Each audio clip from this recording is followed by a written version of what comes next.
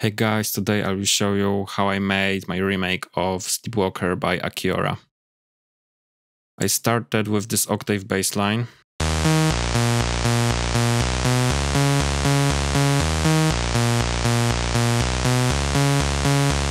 Sound I use is a bass sample. In the mixer I cut a lot of low and muddy frequencies, also I added some light compression, and I finished the chain with the sidechain. Now I'm going to show you the drum pattern.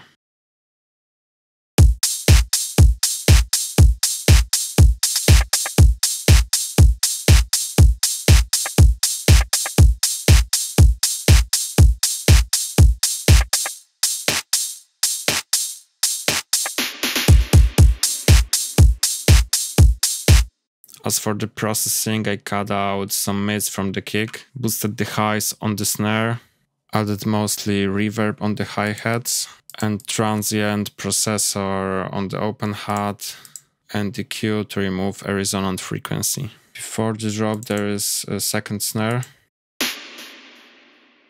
and I put delay and reverb on it.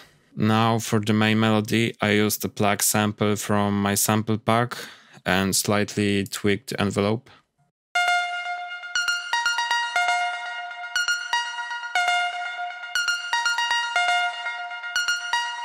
To make it sound more degraded and retro, I added RC20, uh, delays, EQ with low cut and high cut. And high cut in this example is to get rid of some of the frequencies Beat Crusher added. Then I added a long reverb compressor to glue together all the effects.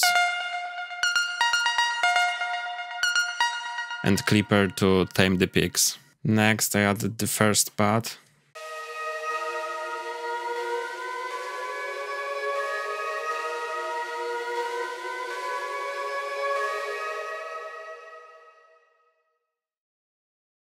Uh, I used RC20 on it as well.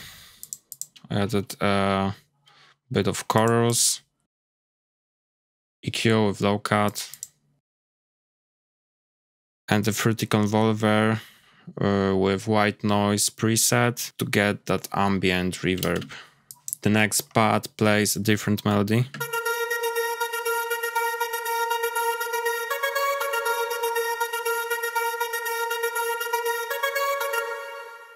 I ran it through a pitch shifter with uh, Octave 2 preset, then used Saturn to add some harmonics Next, uh, I use the Transgate.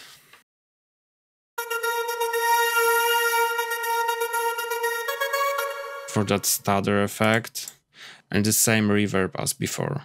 The last sounds are a Reese bass and a sub bass, which only play during the drop.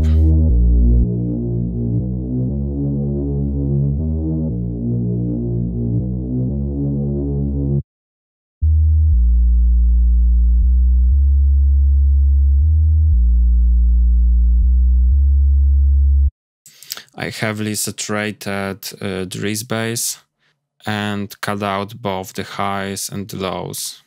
And I created a sub bass by running it through a low pass filter.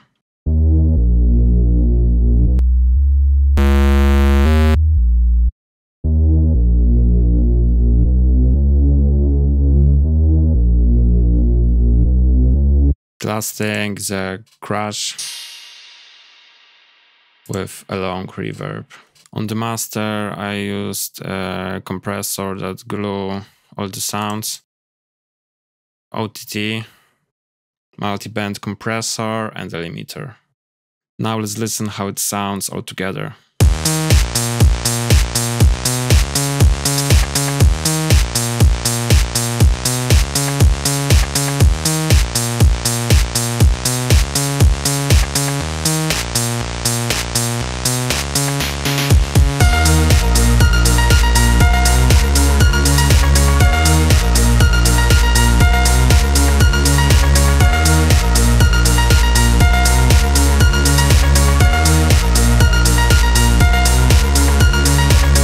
Watching. The samples I used are from the Castle sample pack.